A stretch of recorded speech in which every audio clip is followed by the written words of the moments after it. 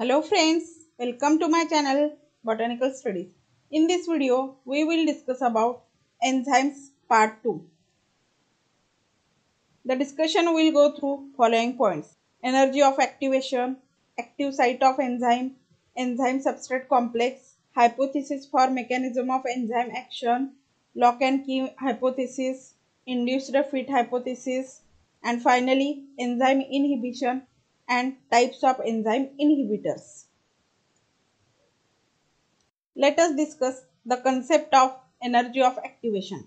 Mechanism of enzyme action involves making or breaking of biomolecules. The enzyme acts as a biocatalyst in the reaction. Enzyme can speed up the reaction rate, but they cannot force a reaction to take place. The process of making and breaking of the reaction depends upon the change in energy level. The energy required for the molecules to undergo a change is known as energy of activation. In laboratory experiments during a chemical reaction, the most energetic molecules are able to undergo chemical reaction. Therefore, there is a rise in temperature which increases the possible collision rate. Thus, reaction rate is increased at that time activation energy is high. But in the living system, it is not possible to increase the temperature to such elevated state of energy, which could not support life. This is possible only because of the presence of enzyme. Enzyme carried out such reactions at relatively low temperature by lowering the energy of activations so that the substrate molecule has sufficient energy to react with enzyme without increase in temperature and converted into products.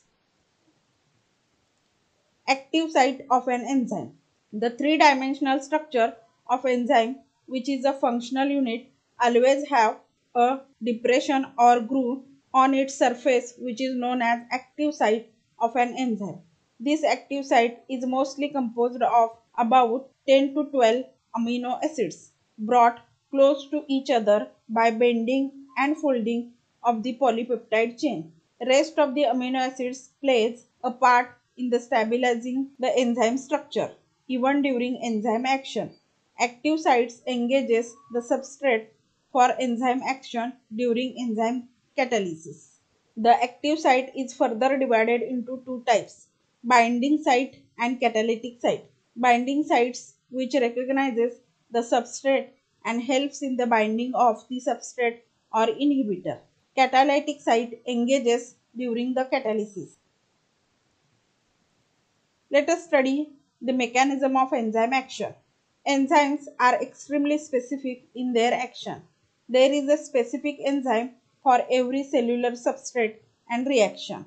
The enzyme accelerates the rate of biochemical reaction without any change in its own structure. The first step of mechanism of enzyme action is that the enzyme binds with the substrate through its active sites and an enzyme substrate complex is formed. The enzyme substrate complex is more stable than either free enzyme or a substrate. Then during second step, interaction between the enzyme and the substrate in complex molecule begins through van der Waals forces, hydrogen bonds and ionic interactions. During such interactions, the enzyme acts by lowering the activation energy of a reaction. During third or the final step, the enzyme substrate complex breaks into free enzyme and the end products. The released free enzymes again combines with the free substrate molecules and the reaction will continue until all substrate molecules are consumed. The mechanism of enzyme action can be easily explained by two hypotheses, namely lock and key hypothesis and induced fit hypothesis. Let us discuss in detail lock and key hypothesis. Emil Fischer proposed lock and key hypothesis in 1890 to explain enzyme action on the substrate. According to this model, the active site of the enzyme is a rigid structure. The substrate molecule fit into the active sites of the enzymes, very similar to the fitting of specific key in the lock to form enzyme substrate complex. According to this model, the shape of the active site is not modified before, during or after the reaction and the enzyme is given off as such after the termination of the reaction. There is a one objection on the lock and key model. Enzyme and substrate cannot behave like a rigid structure at the time of complex formation. If the active site were rigid and specific for a given substrate, reversibility of the reaction would not occur because the structure of the product is different from that of the substrate and would not fit the enzyme well as contrasted to the rigidly arranged active site. Induced fit hypothesis or hand and glove model.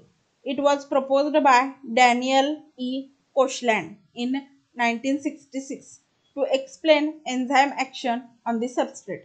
According to this theory, the substrate induces some configurational changes in the enzyme structure. The main feature of this model is the flexibility in the active site structure. That is, the active site of the enzyme is a not a rigid structure. The basic idea behind in this hypothesis is that hand gloves has its own shape. But when the hand is put inside the gloves, its shape is modified with respect to the fingers moving in place inside the glove. In the same fashion, the shape of the substrate and enzymes are modified to some extent to allow for a better fit in position between substrate and enzymes to facilitate the reaction. Apparently, the structure of the substrate is also changed during induced fit, allowing a more functional enzyme substrate complex. Factors affecting on enzyme activity. Effect of pH on enzyme activity. Optimum pH refers to the narrow range of pH on which every enzyme function most effectively. Since enzymes are protein, slight change on either side of the optimum pH modify its effect on the substrate. Change in pH has two-way effect on the reaction rate. A slight change in pH can stimulate ionization of the amino acids residences at the active center, which may prevent its proper attachment with the substrate. Same is true for the substrate. Moreover, it also affects the ionization of the substrate. Under these changed conditions, enzyme activity is either restricted or blocked together. This reduces the reaction rate. Extreme change in pH can cause the bonds in the enzymes to break resulting in the denaturation of the enzymes. Effect of temperature on enzyme activity. Like mammals and birds, plants cannot regulate their temperatures. As a result, all reactions in them are strongly influenced by external temperature. In general, reaction catalyzed by enzymes increases with temperature from 0 degrees Celsius to 35 or 40 degrees Celsius. The increase in reaction rate is partly because heat increases the number of molecules that have energy equal to or greater than the energy of activation. If the temperature is raised above the certain value, the reaction rate begins to decrease because of the denaturation of most enzymes. Similarly, low temperature can also denature certain enzymes. Enzyme inhibition. Enzyme inhibition is the capacity of the inhibitors to retard or stop the enzyme catalysis. For example, poison, antimetabolites, antibiotics, and some drugs act as inhibitors for certain enzymes and thus stop their activity. Enzyme inhibitors.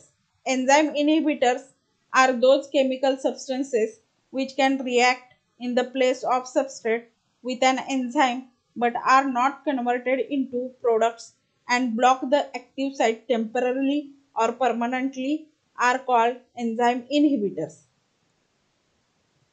Inhibitor types. There are two types of inhibitors, irreversible inhibitors and reversible inhibitors. Let us discuss the types of enzyme inhibitors.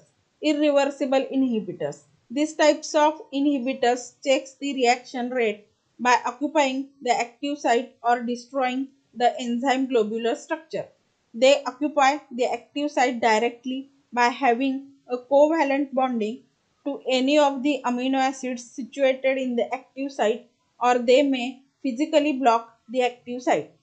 The irreversible inhibitor may also combine with sulfhydryl group and destroy the disulfide bridge which are essential for maintaining the globular structure of the enzyme.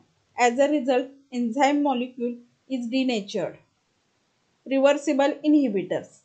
This is the chemical which react with the active site temporarily. They form weak interaction and either retard or stop the enzyme activation. Effect of reversible inhibitor can be neutralized completely or partly by an increase in the concentration of the substrate.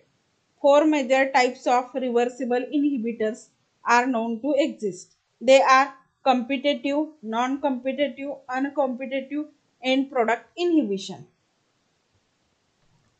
Let us discuss the two types of reversible inhibitors. First, competitive inhibitors. Because of their structural similarity with substrate, they are associated with enzyme at active site. They are able to attach itself at binding site but are not able to activate its catalytic site, thus given off. The degree of inhibition depends upon the relative concentration of substrate and inhibitor. By increasing substrate concentration, reaction rate can be increased. Thus, the effect of inhibitor can be reduced to almost zero. A very good example is mevalonic acid and succinic acid which compete for the same site. Non-competitive inhibitor. These type of inhibitors do not compete with the substrate for the attachment on the active site. Their function is to form the enzyme inhibitor complex at a point other than the active site. They alter the structure of the enzyme in a such a way that even if genuine substrate tries to bind the active site, catalysis fails to take place. As a substrate and inhibitor are not competing for the same site, so an increase in substrate concentration has no effect on the reaction rate. So this is all about enzyme